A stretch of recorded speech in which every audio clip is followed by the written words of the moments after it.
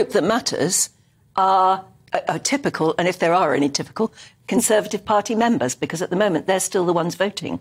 Yes, exactly. But this time, perhaps more than uh, other times or in the past, um, um, the candidates must speak to all the UK population and to all the voters um, because um, uh, not only to the membership, yes, of course, the membership will vote, mm. but um, the public opinion is so much interested in who is going to lead the country towards a big economic crisis during the next one year, two years, and also lead the party towards the next general election. Yeah, I mean, I suppose that's the difference, isn't it? When we've seen leadership elections in the past, well, if you're not interested in that party, you can sort of say, well, they'll do what they'll do. Mm. But this is the Prime Minister that will represent everybody. Exactly, exactly. And we are facing a very difficult period from the economic point of view, energy prices, inflation rate, uh, Ukraine war, um, COVID pandemic still, of yes, course, yes.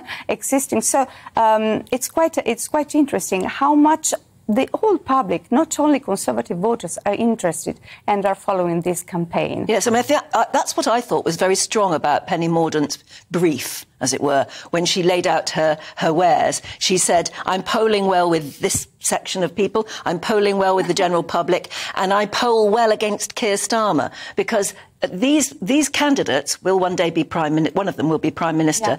Yeah. Uh, so not only have they got to win that prime ministerial uh, election, but then they've got to win a general election yes, in a very short space yes, of time. Absolutely, it will be really a very challenging period. And in fact, um, we we pulled also which kind of policies and qualities are considered most important for UK electors, UK voters, um, with regards to the new PM. Mm. And it was quite interesting. Uh, two aspects above all, and. Um, we asked, do you prefer a rising star or a ministerial veteran? That's mm. quite a challenging question.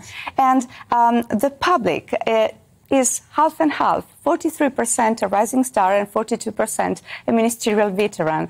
I mean, yes, it's, it's quite uh, interesting because um, we can infer it from the type of audience. I mean, the young people, I mean, from 18 to 30 years old, 35 years old, um, prefer um, some innovation, some fresh ideas, new ideas. So, and um, while as they get older, they rely more on experience and perhaps on you know, I would